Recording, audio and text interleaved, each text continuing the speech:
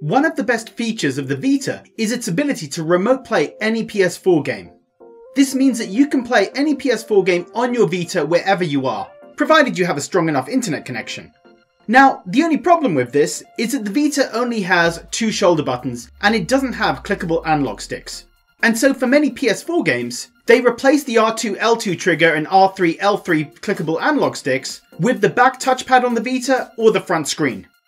Gaming accessories company Hori released the Hori Remote Play Grip a few years ago. This is the best grip for the PS Vita. Not only does it make the Vita more comfortable to hold, it also provides L2 and R2 triggers and R3 and L3 triggers. By touching the triggers at the back of the grip, it replicates those inputs on the PS4, which makes remote playing much more comfortable. I actually find, especially the R3 and L3 triggers at the back, that they're more comfortable to use than the actual clickable analog sticks. Now, the Hori Remote Play Grip, I've spoken about it many times, and this is just awesome. It's a brilliant little accessory for your Vita. There's two problems with it though. One, it's very hard to find. Hori stopped manufacturing it a while ago, which means there aren't that many out there. The price is pretty high for them now, unfortunately. We can't solve that problem. But the other problem has been solved. You see, the Hori Remote Play Grip is only for the Vita Slim model. The PS Vita OLED model will not fit in the grip. Unfortunately, an equivalent grip was not made for the OLED model. And so, Vita fan Teddy Ho decided to make it himself. He designed and created modified clips for the grip that allow you to use your OLED Vita within the Hori Remote Play grip. These clips can be removed and you can put back the old ones pretty easily.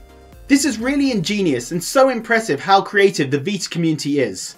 I love that this is possible. With this simple modification, it makes the Hori grip even more useful and even better.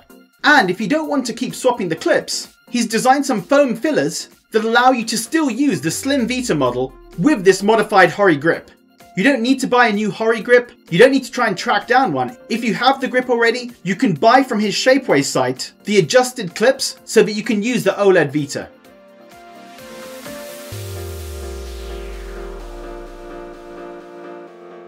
He's also designed this little Hori dock, which can be used for both the Slim and the OLED Vita when they're in the Hori grip. These are just really awesome designs from Teddy. This isn't a paid advert or anything. He reached out to me and showed me what he had done, and I told him that I would love to feature it on the channel, because it's so cool what he's created, and I love the dedication to the Vita. If you do have a Hori grip and you want to be able to use it with your OLED Vita, then check out the link in the description to his Shapeways store. It really does make the Vita much more comfortable to hold and much better when it comes to remote play. Thank you Teddy for sharing this with me. So guys, do you still use your Hori remote play grip? And what do you think of it? Leave a comment below and as always, thanks for watching.